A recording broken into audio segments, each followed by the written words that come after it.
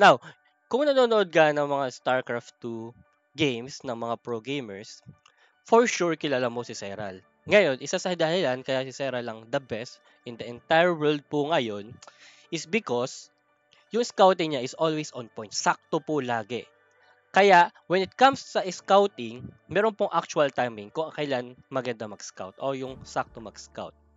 Ang sakto po na scout na time is 3 minutes and 30 seconds hanggang 4 minutes para po sa early game.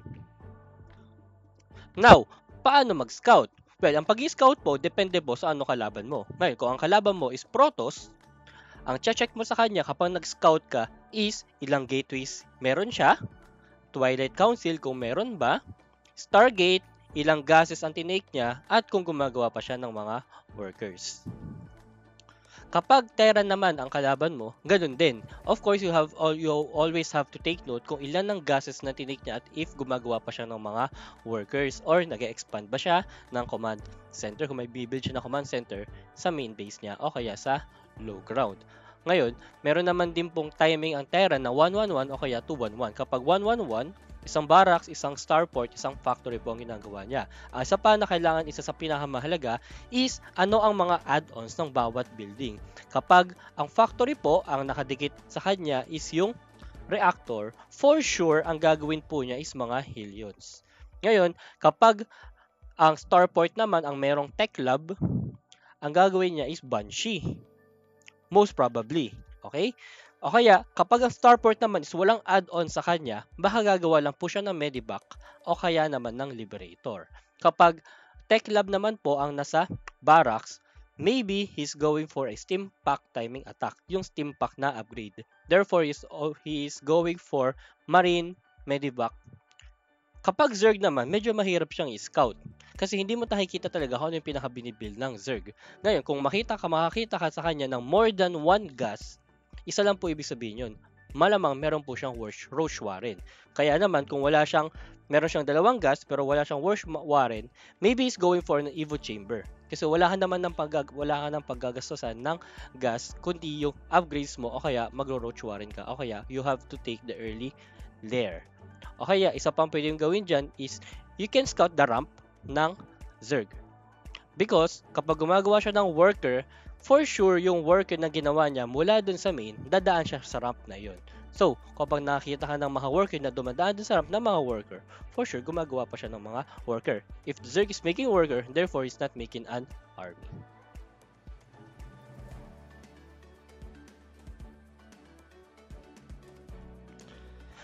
So another tip na may bibigay ko sa inyo is build order. Dapat po meron kang build order every single game. For example po, nakikita nyo sa screen na na example po ng build order na yan. Ang build order na to is para po sa Zerg versus Zerg na match-up and this um, build order is called the Roach Timing Attack. So what will happen here is aatake ako with roaches na meron siyang roach speed tsaka may plus 1 missile attack. So for example, we have gagawin ko dito 17 hatch Okay? So 17 hatch, yung numbers mo na nakikita nyo is the supply. So 17 hatch, 18 gas, 17 pool, so 19 supply, and kapag natapos na yung second hatchery ko, tsaka yung pool ko natapos na is, gagawa ko na isang overlord, dalawang queen, tsaka dalawang set of links. Then, tatlong drones. Then, pag nagawa ko lahat yon yung supply ko is abot na siya sa 29. Then, Evo Chamber, para po sa plus 1 missile attack.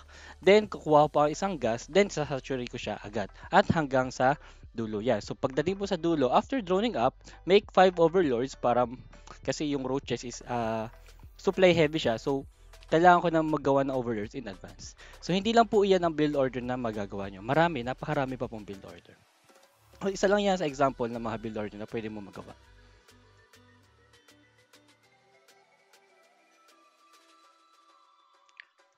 Pangatlong tip is yung floating resources. Now, floating resources is very bad. Napakapangit po niyan.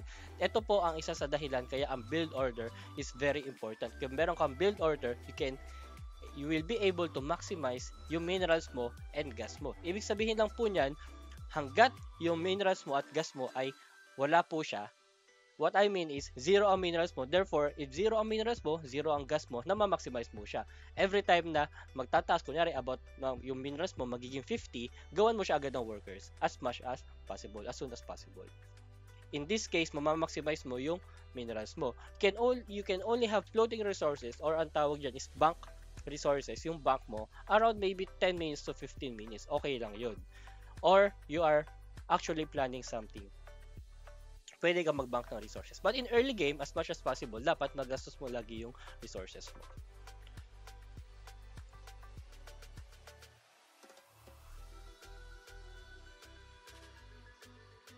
Pang-apat na tip na bibigay ko sa inyo is macro up or micro up. Now, you can only do one thing at a time. You cannot do macro then micro at the same time. Now, the difference between macro and micro is macro is how well you manage your economy o kung gaano kaganda yung resources mo. Micro is how well you can micro or you can move or attack your units. O gaano sa Tagalog is kung gaano mo siya kaganda alagaan yung mga units mo.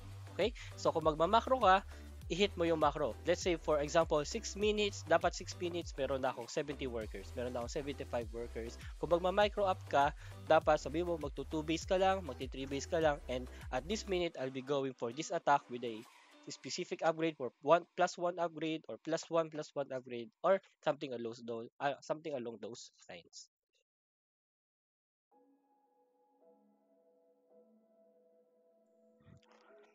Tip number 5.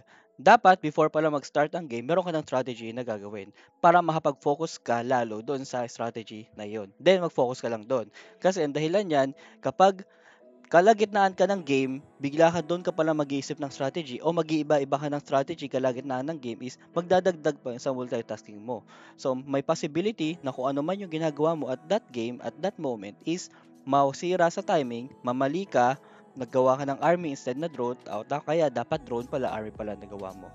So in this case, mas makakapag-focus ka sa pinaka-strategy na gagawin mo.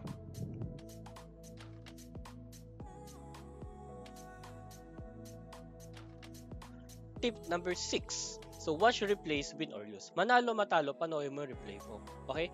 Pag nanalo ka, it doesn't mean na perfect yung nagawa mo lahat. You can still improve what you can, what you did. Okay? Kung ano yung mga ginawa mo pwedeng kulang ka sa drones at this minute, ah, pwede pa pala ako mag-drones dito. Kahit na nanalo ka, pwede ka pa rin ma-improve. Of course, kapag natalo ka, mas lalo ka pag natalo ka. Mas maganda na panoorin mo. Bakit ka natalo?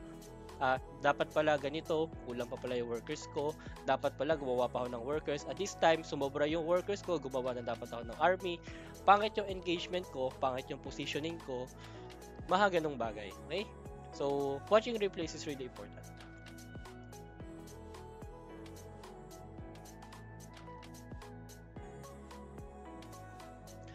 tip number 7 is of of course watch pro gamers. Now, this is good kapag nakalaro ka let's say 5 games or kaya 4 games or during your break. Manood ka ng mga pro gamers. What I will actually recommend is manood ka lang o mag-idolo ka, mag-idolo ka ng isang player, then siya lang yung lagi mong panoorin. Kasi para magaya mo talaga yung pinaka playstyle niya. Kasi kung manonood ka ng maraming pro gamers, then mag-iiba-iba ka ng playstyle depende dun sa pro gamer na pinapanood mo, medyo parang walang consistency yung playstyle mo. So, manood ka ng isang player, then siya yung gayahin mo all throughout your playstyle. But not necessarily na isang player lang. In my case, syempre ang idol ko ngayon is yung pinamagaling, si Seral, si Reyno, tsaka si Su. So kapag nanonood ako, kaya magsa-search ako may gusto akong panoorin na tournament, sila agad yung sa search ko, yung playstyle nila o yung mga ginagawa lang strategy, yung gagayahin ko.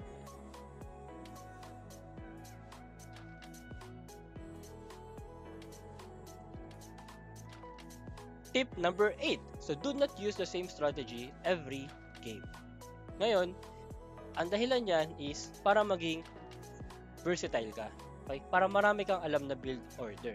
But, if you are actually uh, mastering a build order, pwede mo siyang gawin na sunod-sunod in a game. Sa ladder, okay lang yan. Pwede mo siyang gawin kasi sa ladder, iba-iba naman yung nakakalaban mo. Pero syempre, kung yung kalaban mo is makakalaban mo siya ng dalawang beses o tatlong beses, you have to change your playstyle in this para maging unpredictable ka. Of course, if you're doing the same thing every single game, so kapag nakatapat mo ulit yung kalaban na yun, he will now able to predict kung ano yung gagawin mo. So kung ano yung ginawa mo last game, pag inassume na yun ulit yung gagawin mo, then he will be able to counter it kahit na hindi siya mag-scout. So you have to do you have to do uh, different strategies every game. Another reason kung bakit kailangan mong gawin yung iba-ibang strategy every game because if you're sticking only in one build order but you actually know uh, many different build orders but you're only using one build order, ang mangyayari dyan is master mo yung isang build order na yun pero yung mga ibang build order, ibang strategy is malilimutan mo or magiging sloppy ka sa build order na yun. So, this is also good to keep in track na lahat ng build order na alam mo is alam mo pa rin siya kahit na gano'ng katagal.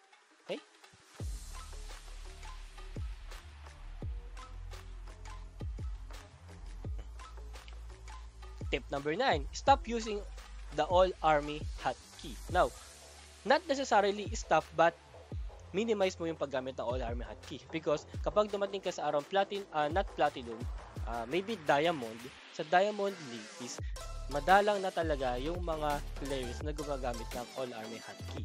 Yung mga gumagamit ng all army hotkey, madalas usually sila yung natatalo. That is the the simple reason behind that is kapag habang tumataas yung league mo is napakadalang na sa isang lugar lang o isang isang part lang ng mapa kayo na naglalaban. Sobrang dalang yun. Ang nangyari is meron kayong main war and there's some pressure happening in your main base or your natural or in your third base. O kaya, siya naman yung nagra-run by sa'yo, siya yung nag-apply ng pressure sa'yo o ikaw yung nag-apply ng pressure. Ngayon, for example, walong links. Yung 8 na Zerg links, it will not do much kapag laban mo sa actual war. Hindi siya ganun kalaki, hindi siya ganun ka big deal. But if those 8 links can slip o kaya makakalusog siya sa defense ng kalaban, let's say you are fighting in the middle of the map. Then, yung 8 links mo, bigla mong pinasok dun sa third base ng kalaban. It can actually, it has the potential to kill all the probes there. Ngayon, and sa war sa gitna, do sa main war, kahit na manalo ka doon o matalo ka doon, you're still ahead because you were able to kill many probes and you were able to cripple his economy.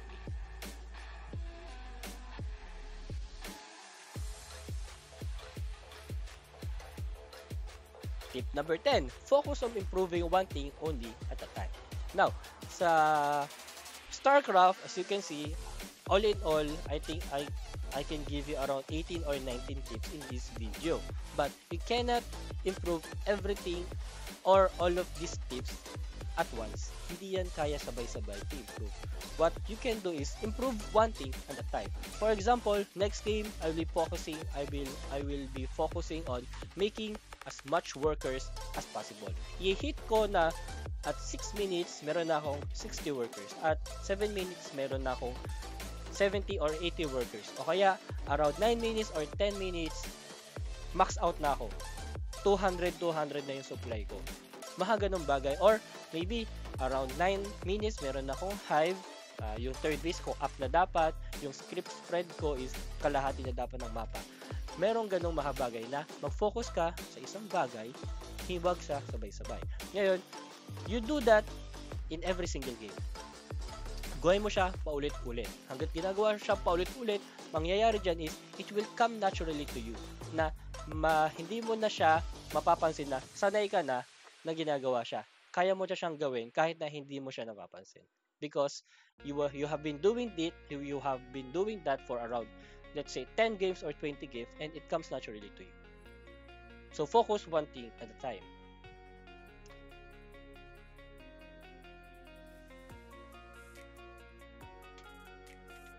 Tip number 11, of course, you have to bind all your hotkeys kung saan ka pinaka-komportable. Ngayon, di porkit ko yung ginagamit po ng pro gamer na gusto mo is ganito, let's say, number 4 yung hatchery niya, number 5 yung queens niya, number 1 yung army niya, is gagayahin mo na, not necessarily kung saan ka pinaka-komportable. In my case, what I do, ang hotkeys ko is number 1 yung mga hatchery, number 2 is yung mga queens, number 3 is my main army, number 4, hotkey number 4 is my spell casters, number 5 is my run by. Now, yun na yung nasimulan ko, yun na yung ginagamit ko na hotkey mula nung simula ako ng StarCraft hanggang ngayon, yun pa rin yung gamit ko. Now, a lot of players, a lot of pro gamers, what they use is number 4 yung hatchery, number 5 ang queens, 1, 2, 3 is their main army. Yun ang ginagamit ng kadalasan ng mga pro gamers. Pero kahit na ganun, is hindi ko pa rin sila ginagaya because kung gagayahin ko sila I have to switch because tingin ko is mas okay yun mahihirapan ako. Sobrang hirap nun na you have na lalabas ka sa comfort zone mo and you will lose a lot of game para lang masana yung ganun. So kung ano yung hotkey na pinaka-comfortable ka, yun yung gawin mo.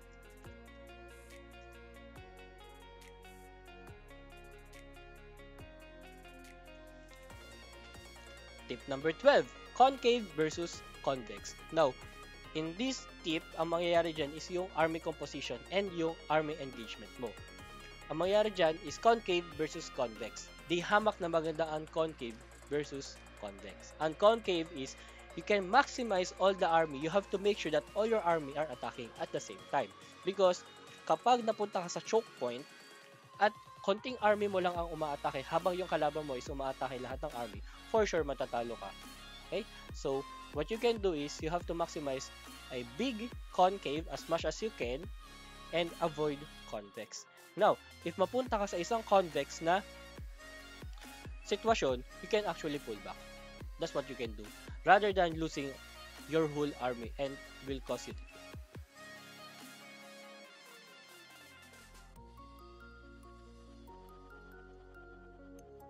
Tip number 13. So, army composition. Now, dito papasok yung scouting. Siyempre, kung nakapag-scout ka, alam mo kung anong, anong army ang gagawin ng kalaban mo. In that case, your ar- army composition will be better.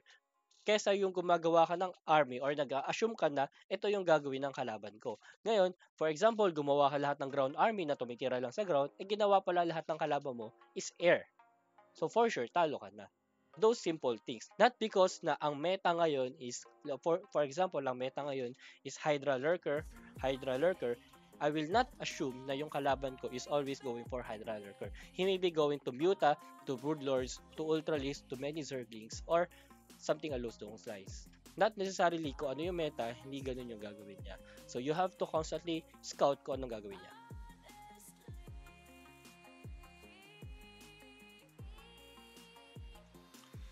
Tip number 14, split your army. When it comes to high-level gaming po na StarCraft 2, kapag tumating ka sa mga diamond, lagi kang mag-split ng army mo. Or, lagi kang mag-alat ng army mo na magpipigil sa expansion niya para ma-cripple mo economy niya. O kaya, para makapag-run by ka dun sa main line niya. Makapatay ka ng maraming worker, that is a good advantage for you. So, always split your army. Pagdating sa high level, napakadalang po na nakikipaglaban ka sa isang lugar lang.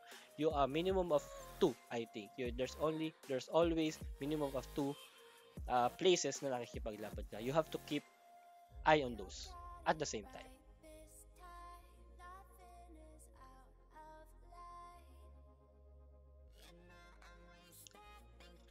Tip number 15 is run bys.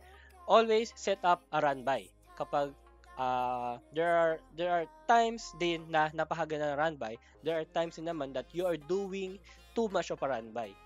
Now, if you have uh, you, if, if you can allot some of your army, yung maliit na portion ng army mo for run by, do that if you can. Ang mangyayari dyan, if your opponent doesn't leave any um, any army sa base niya o kaya wala siyang static defense, you can actually make a lot of damage sa kalaban mo. And kapag nanalo mo pa, yung natam na panalo mo ba, yung main army, yung main war mo is very good for you. What happens is kapag nag-successful yung run by mo, ang mangyayari dyan, they usually, uh, what the opponent, what your opponent usually do is, mag-all in siya. Ipapasok niya agad yung army mo. Sasabihin niya, bahala na, papasok ko na yung uh, ano, pinaka-army ko. Pag nanalo siya, nanalo siya. Pag natalo ka, talo ka. But there are instances na kahit matalo ka, since siya yung sumugod sa'yo doon sa base mo, mas, mala mas malapit yung reinforcement mo. So, just a good chance na mananalo ka.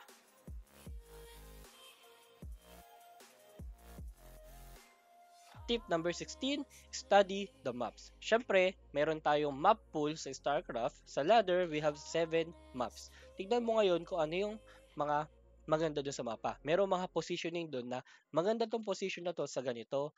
O kaya, ah, tong mapang to, maikli yung rush distance niya, I can rush yung kalaban ko. O kaya, maganda tong, etong mapang to, usually, dito sa may lower right, hindi siya lagi na scout ng kalaban, pwede ako maglagay ng proxy doon. Those are the things na pwede mong pag-aralan kapag sa mapa. Kaya, merong dead space dito. Sa dead space na to, pwede ako maglagay ng isang air dito, pwede ako maglagay ng drop na hindi makikita usually ng kalaban. Itong part na to, madalang ma-scout ng kalabang, maglagay ako dito ng pylon, maglagay ako dito ng mga links ko, or something along those lines. So, study the maps is very one uh, very important tip.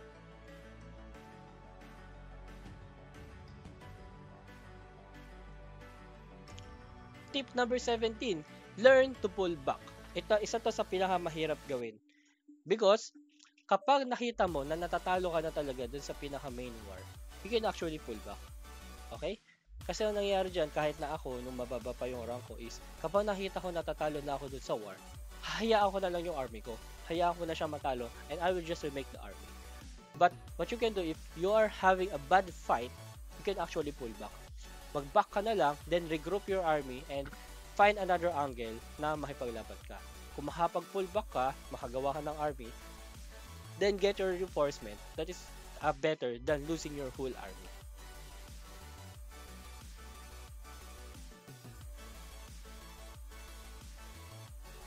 Tip number 18 is have a practice partner where you can try out your new builds. Ngayon, kung meron kang practice partner, uh, most, prefer, uh, most preferably yung partner mo is yung kahinaan mo na race. In my case, ang kahinaan na race ko as of now is Protoss. So, maganda siguro kung meron ako ka-partner na Protoss. So, yung practice partner mo to, lagi kayo maglaro sa kanya maham, sa kanya kang mag-build, sa kanya kang mag-try out ng mga bagong build. O kaya after ng every game nyo is pwede mo panoorin yung replay nyo, tanongin mo siya, ano kaya mas maganda pang gawin ko, ano yung mga mali ko, then at the same time is gawin mo rin yun sa kanya. So, yun yung maganda.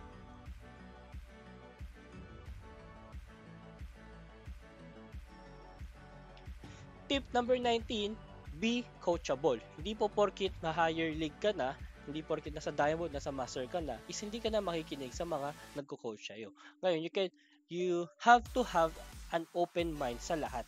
Kahit na minsan po, meron pa rin sa akin na mas mabababa yung league sa akin, but yung mga sinasabi nila sa akin o mga tip na nabibigay sa akin nila is actually making sense na oo nga, tama nga naman na nalimutan ko yung ganito, nalimutan ko yung ganito, bakit, bakit ang dami kong masyadong workers, bakit hindi pa ako gumawa ng army at this time.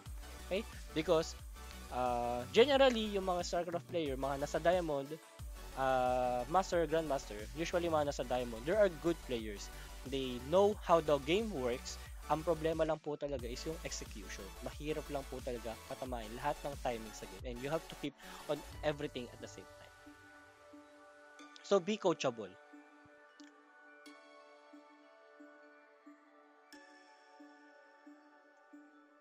Okay, tip number 20, of course, watch my live streams. Now, in my live streams is marami kang matututunan. Habang naglalaro ko, I do commentary sa ginagawa ko. Kung bakit ko ginagawa to, bakit ako nagtayo ng hatchery, bakit at this time pwede ako mag-counter attack, or something like that. Okay? So, don't forget to uh, watch always my live stream sa Facebook. Okay, so yun na po lahat para sa video na ito. So, I really hope na nakatulong po sana itong mga tips to. So, remember again, don't try to execute all of the all of my tips at the same time. Hindi mo ma-improve yan. So, make sure that just to improve one at a time. Okay, so again, don't forget to like and follow my Facebook page. Of, of course, subscribe din kayo sa YouTube ko. And I'll be uploading more videos in the future. So if you have any recommendation for my future videos, don't forget to comment uh, down below. And of course, if what you think about in this video, comment nyo rin sa baba. Okay, so if again, if you like some coaching in StarCraft 2 sa akin, all you have to do is just message me in my Facebook page, Saipembril. And again, I want to thank you all for watching. Bye!